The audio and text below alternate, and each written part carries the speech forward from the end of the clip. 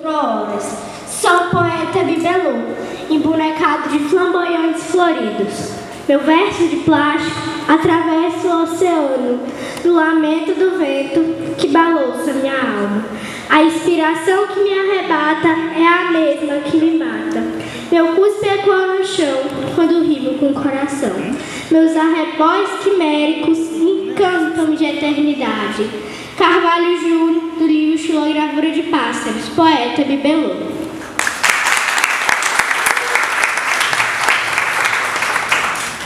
Boa noite a todos e a todas. Boa noite.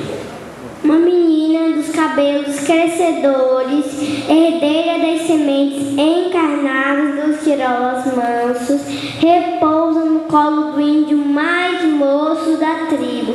Palpitam quimeras e cânticos no olho da aldeia, enquanto feixes de luz acendem as fogueiras do dia. Três peixes transparentes reluzem na gamela da manhã nascente, e um chorapilino acorda Tupã e todos os seus galos do sol.